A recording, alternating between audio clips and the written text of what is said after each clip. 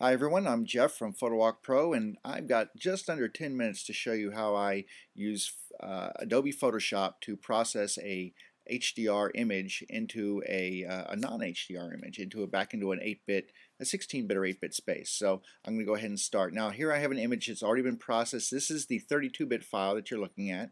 Uh, I processed this using Photoshop. I'm not going to show you how because I've done that in a previous tutorial um, and just it'll help us save a little bit of time here but uh, this is the way the image would look when you open up the .hdr file into Photoshop. You can see it's kind of flat it's kind of milky looking uh, doesn't look that great. Well that's because my monitor your monitor anybody's monitor really cannot display 32-bit files but we're going to take care of that because we're going to make this look pretty sweet here in just a minute. So the first thing I'm going to do is I'm going to go up to image and I'm going to go and change the mode because what we've got to do is take this back down into a usable space so when I change it from 32-bit, which you can see is checkmarked here, I'm going to change that down to 16 bits per channel. When I get 16 bits per channel selected, I'm going to get an, uh, a dialog box that says HDR conversion. Now, your box when you first time you open it will probably look like this, and that's okay. Uh, the first thing we want to do is change the method. And we're going to go drop down to local adaptation, and you'll automatically see a change to your image. It may not be a better change, but it is a change. Um, but that's okay because we're going to make some improvements.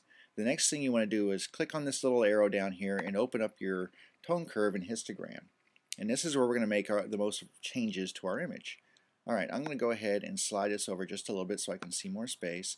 And what you want to do is you want to start moving these over. Now, typically you would want to move that black point over till you got that set to the point where you've got the base of this histogram. Now you can see mine is already way over here to the left, so I've already got defined blacks uh, in my image. And my whites are almost all the way to the right, so that area is doing pretty well also. This is actually a pretty, pretty good exposure.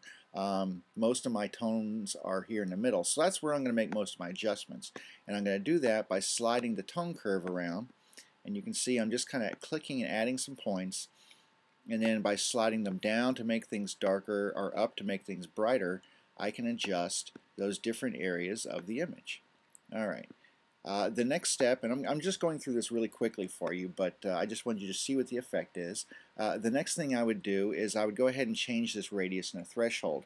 Now I'm going to go ahead and zoom in here because um, it's really important, if, especially if you've got areas of sky, um, areas where you could possibly pick up halos, um, you want to make sure that you've got those um, pretty well under control when you're processing in Photoshop. Okay, so what I'm going to do is I'm going to show you how changing the radius um, and the threshold can make a big difference in here. And I'm going to take that threshold way up here, and you can see, there you go, there's my my evil halo starting to show up here, where that blue sky starts to meet that darker canyon wall there. Now what I need to do is just back that radius down until that halo starts disappearing and it starts getting a little bit finer. Now if I got a little bit of a halo, that's okay. I can take care of that maybe with the clone tool or something later on. But you don't want a big giant one because that's just not going to look very good. So we're going to take this down just a little bit more maybe. Alright, that looks pretty decent. Uh, I'm going to go ahead and click OK. And now this is going to do my conversion and it's basically taking that 32 bits now, taking those tonal changes that we just made, those corrections according to the histogram, and it's going to map those to a 16-bit space for us. And that's going to give us uh, uh, the ability to do a lot more things to this image in Photoshop.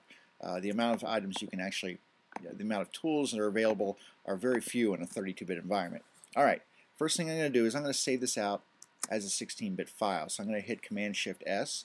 I'm going to hit can Tutorial Canyon, that looks good.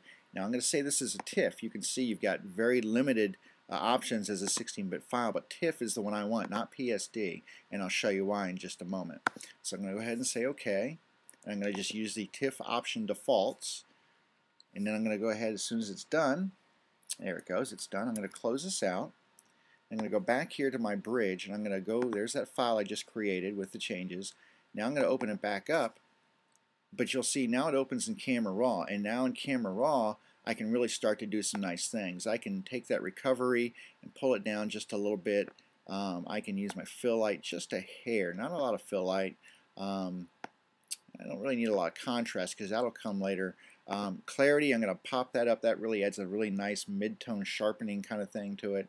And I'm going to crank that vibrance up just a little bit, really get some of those colors to start to pop.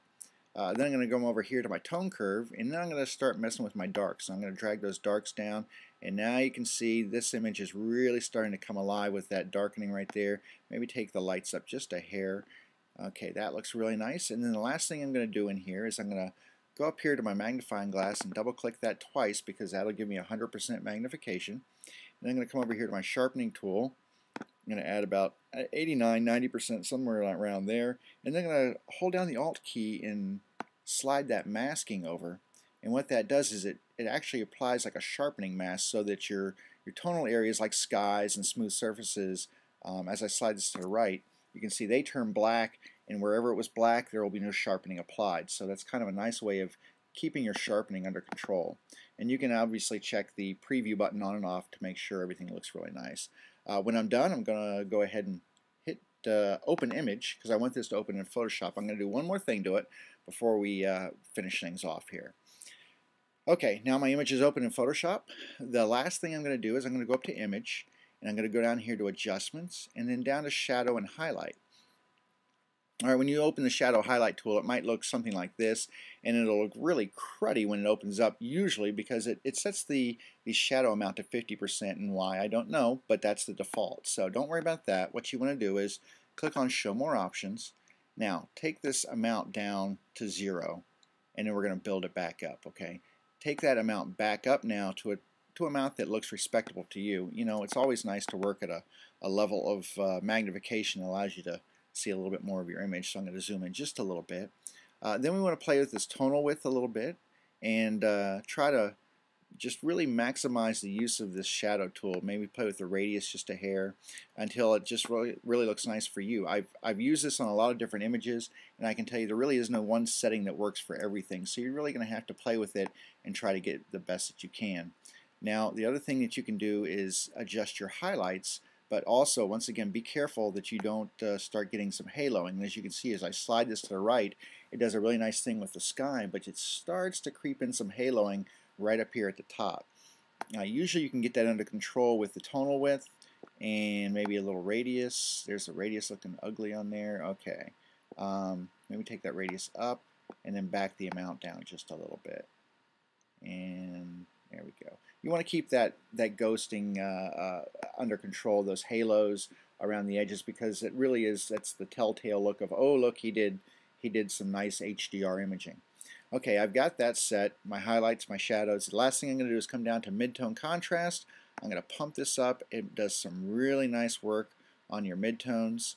Uh, it's kind of like the, uh, there you go, a little bit more uh, work on those midtone values to sharpen them up just a hair, give them a little bit more contrast. And there you go, there's my, my finished. I hit OK. I'm going to zoom out just a little bit, let you see and that's our image. Now I might do a little bit more work in this um, because I just do a little bit more work on all my images just because I'm never really happy. But um, as far as the HDR processing goes, I'm pretty satisfied with this one. So I'm going to save this file out. I'll post it up on the site. And if you have any questions, make sure you leave a comment or send me an email at jeff at photowalkpro.com. Until next time, see you later.